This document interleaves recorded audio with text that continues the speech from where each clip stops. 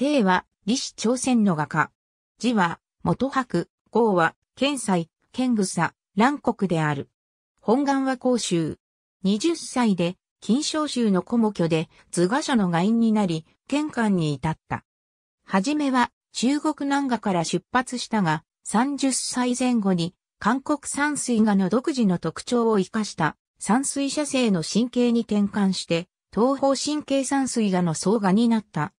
旅を好み、金剛山などの全国名所を探し回りながら絵を描いたが、陳子生、張久志と共に山菜と呼ばれた。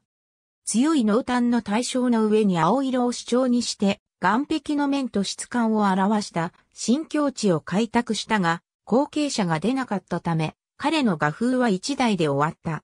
文才がなかったせいで、書が付されることはなく、署名と楽観が画幅の隅にあるだけで、画題のないことが異彩を放つ。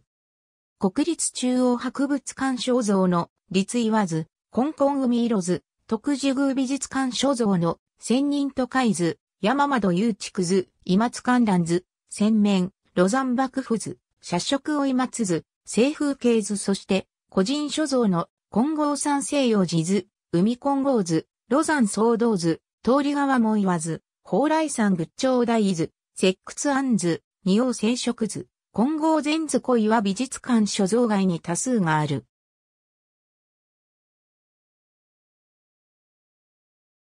2007年より、聖音札の裏に形状性巨図が使われている。